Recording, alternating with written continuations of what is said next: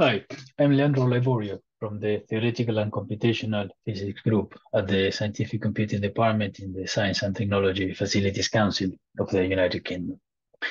I am currently in charge of the muon spectroscopy computational project, where we develop software tools for the interpretation of, of muon experiments. And, and in this talk, I would like to present uh, the method that we use for finding the muon stopping site in, in crystalline materials. And also, I'd like to briefly discuss the theoretical basis for this method and also to show how um, this methodology has been implemented in the web-based workflow management system and graphical user interface called uh, Galaxy.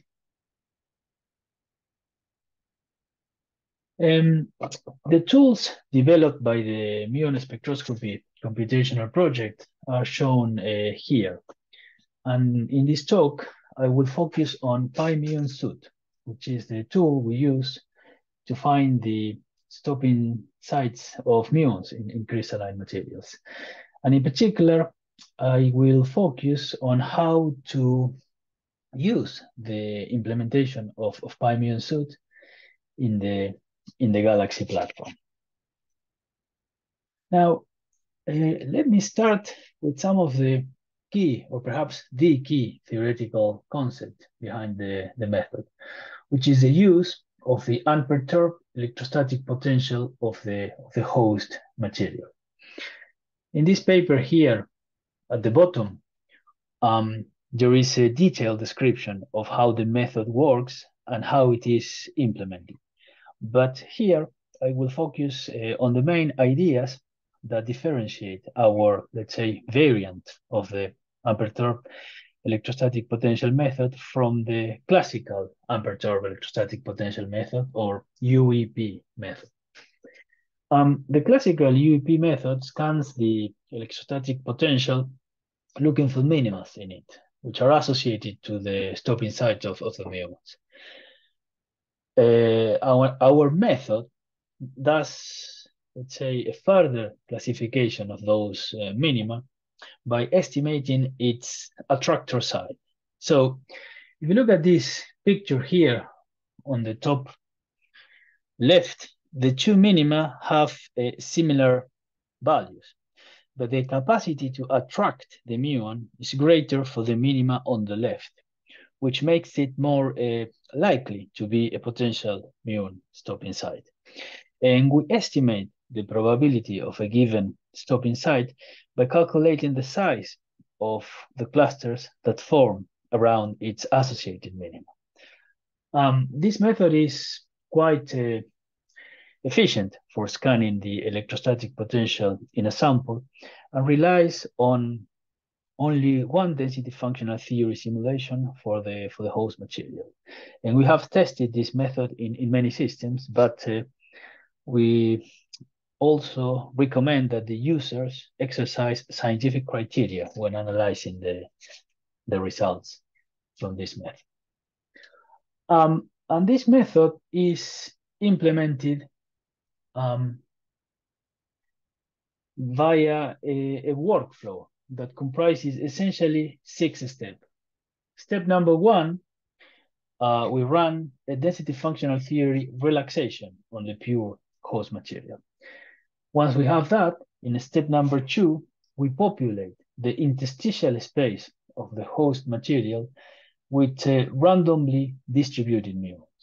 And this image here is just um, for visualization purposes, because what we do in reality, what the code does in reality, is to generate a, a set of unit cells, each one of them with a muon in a different place.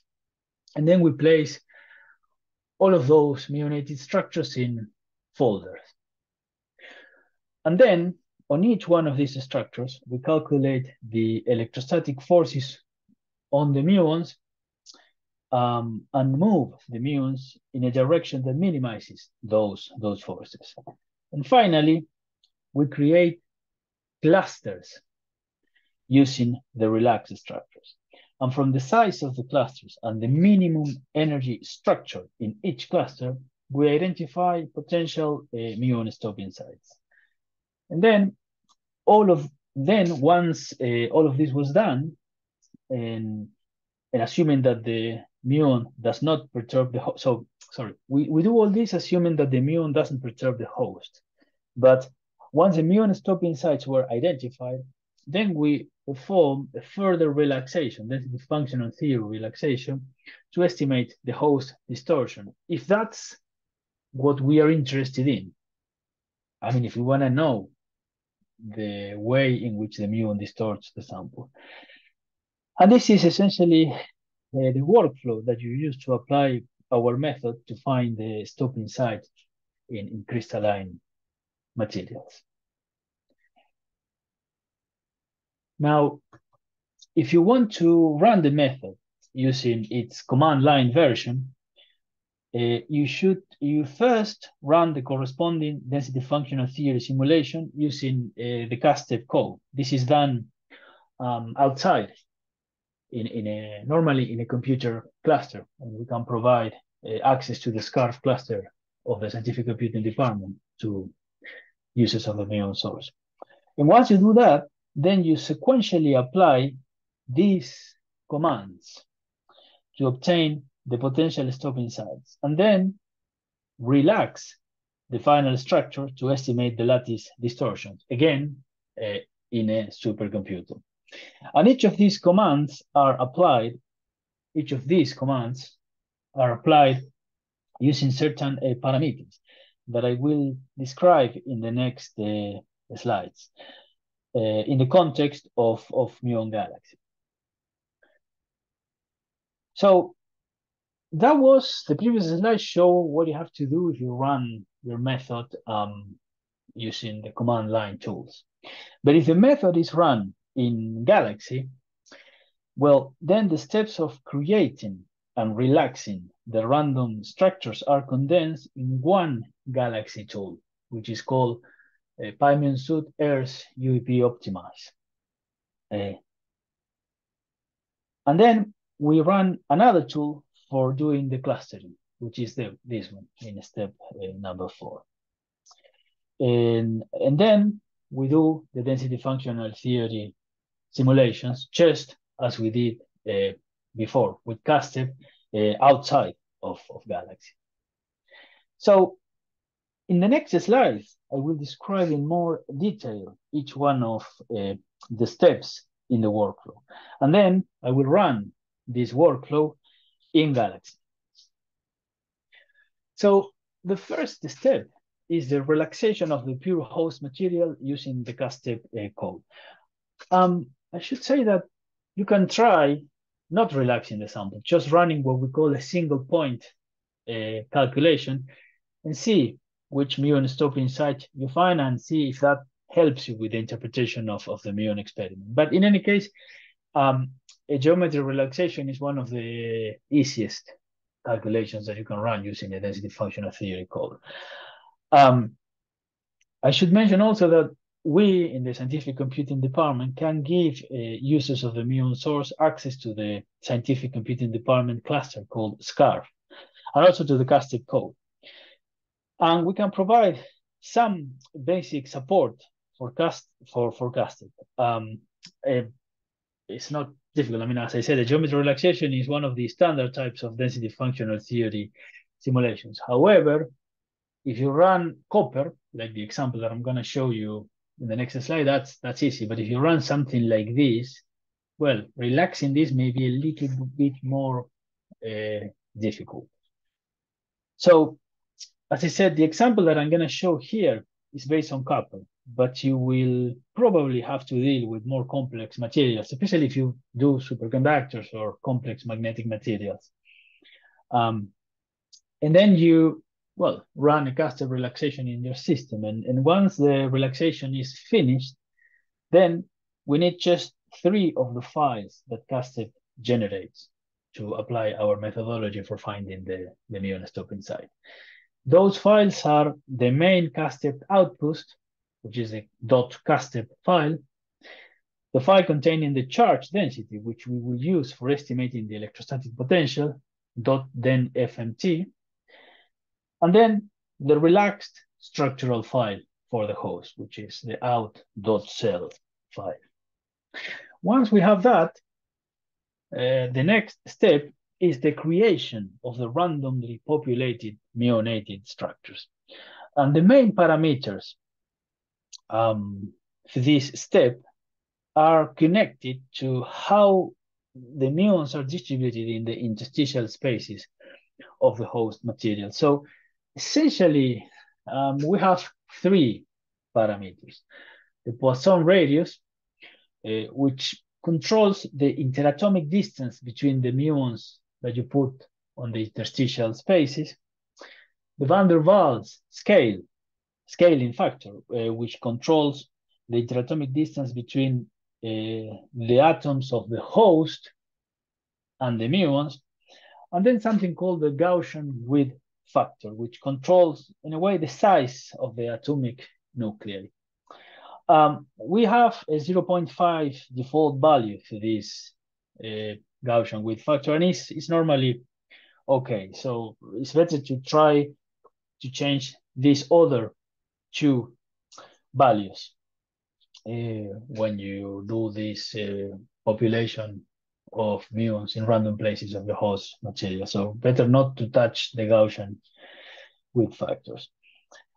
Uh, and the values, these parameters, essentially control how many muonated structures are created and how expensive running this system will be. And you can see, for example, if you change the Poisson radius from 0.5 to 0.6, you can see they have more muonated structures uh, here. Once you have all your muonated structures, the next step is to calculate the analytical electrostatic forces on each of the muons in your structures and move the muons in a direction that minimizes the forces on the muons. And there are two parameters to, to choose here uh, when, when you do the geometry relaxation. One is the maximum number of geometry optimization steps, and the other one is the optimization tolerance through the forces on the muons. Once everything, and, and we run the relaxation, and which is the most expensive computational, from the computational point of view, most expensive calculation in this process. And once and everything is relaxed, which uh, we have to proceed with the with the clustering. Um, and for this, uh, for the clustering, the key parameter is uh, the parameter T, which is a sort of cutoff parameters for performing hierarchical uh, clustering in your system. So the larger the T, the larger the cluster form. And then it is possible to save the structural files with the minimum energy uh, of the muonated structures for each clusters. And these are the files that represent the, the potential stopping site. And then finally, once we relaxed and clustered everything, we can create and save um, a structural supercell file in the castep uh, format, for example, in the castep structural format, for so that we can then later use it to perform a density functional theory simulation to calculate uh, the distortions associated to, to the muon and or um, other properties associated with the muonated material, like, I don't know, the magnetic moment at the muon side, the hyperfine coupling constant for muonium, if, if, if muonium is what we have inside, and things like that. Um, and with this, we have all the information necessary to perform uh, this procedure in, in Muon Galaxy. And in this link here, you can find a Galaxy, Muon Galaxy, and the tools that you need for finding the muon stopping site using uh, the Galaxy platform. And when you click on the link, you will see the main web page for the for for, for, for materials uh, galaxy.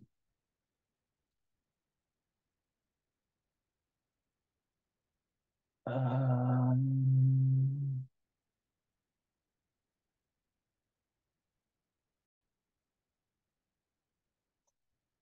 so, as I said, uh, you see the main web page of, of Materials uh, Galaxy. And on the left, there is a list of all the tools available. And when you choose one tool, like the UEP optimized tool, in the setting panel, you will have all the parameters that the tool requires. And the first thing you need to do is you need to load the CASTEP files resulting from the initial CASTEP simulations. Um, and what I'm doing here in this example is I'm loading the relaxed structural file, the file with the charge density, and the main CASTEP output file. And you can see that on the right side of the panel, you have a, the history of, of, of the process. Okay, every step that you do is collected in this history. And you can see when things are running and if they run okay, meaning you load your file properly, then each step of the history becomes uh, green. Um, and then once you loaded all the files, then you need to choose the parameters for performing the creation and relaxation of the muonated structures. So you choose the Poisson radius, the van der Waals scaling factors, and then the optimization parameters. And finally, you run your tool. And again, in the history, you see what happens when things are running. Um, it is also possible to choose uh, for the format of the file containing all the generated structures, which can be used to assess, let's say, how well we are covering the statistical spaces for the for the host material. And then we, well, the calculations and launch, we need to wait until this relaxation finishes. This is the most expensive part of the process. Here I'm using a simple example, which will finish soon, but it may take uh, a while, depending on the size of your system. And then in the history, you see uh, that two new items, okay? And they have turned green. So we have all the relaxed structures and the file uh, containing the position of all the minimums. Um, and the next step is to load all the relaxed, the relaxed structures in the, in the clustering tool. Choose uh, the T parameter for hierarchical clustering, and then a, a format for the minimum energy structures and the size of the supercell that we will require for running the subsequent density functional theory simulations. And then we run the tool. And here you can see that the main output file of the process, the main output file of the process, uh, showing which shows the characteristics of all the, the clusters found. You see, this is the clustering report. Here you found two clusters. Each cluster has 20 structures. You have the minimum and the average energies for those clusters. And something that I'd like to point out is that I choose a simple here, a simple system here, sorry, uh, that runs very fast. But as I mentioned before, calculations might take a while, a while, a little bit longer. Uh, because uh, they are running, but I mean, it doesn't, this is not really a problem for you because these calculations are running on a server. So you launch them and you can you you can just check them periodically to make sure that they are they to check if they, they converge or not, but they don't occupy space on your computer or anything like that. Uh, in my experience, the longest that I spent running a relaxation and clustering procedure in Galaxy was overnight. Uh, and finally, once the process is over, well, you can save the entire workflow in, in Galaxy. And then you can, well, you can uh, curate the workflow, save it, and then you can visualize it in a, in a graphical form and see how the different tools are connected and which are the parameters that you that you choose for running each one of the tools. Uh, and also what is it that you did with each tool. And this uh, workflow is easy to share among Galaxy users and also to run again. Uh, so for instance, you can include this uh, workflow in a paper to show exactly the process that you use for finding the, the muon stopping sites. So you can create, and, and, I, and we will show this in the tutorial, you can create what we call a research object with this workflow. Uh, and you can create a DOI for that research object, save it in a place like Zenodo, for example, and then attach it to a paper. Uh, and you have a very transparent way of informing your readers of what you what you did for finding the muon stopping sites with our methodology. Um, and this is it. Um, I hope this talk, this talk, sorry, gives you a good overview of what our method is and how it works. Um, as I said, we've tested the method in several systems with satisfactory results. And it is a method that can be run from the command line or in the Galaxy platform. The method requires one external uh, density functional theory simulation. Uh, and in the full tutorial online, of which this video is part of, um, we will include more uh, detailed explanations of, and also uh, many examples that you can play uh, with. Okay, and I would like to finish by thanking all the people involved in the muon spectroscopy computational project and thank you for your attention. I hope you find this uh, video and the whole tutorial useful.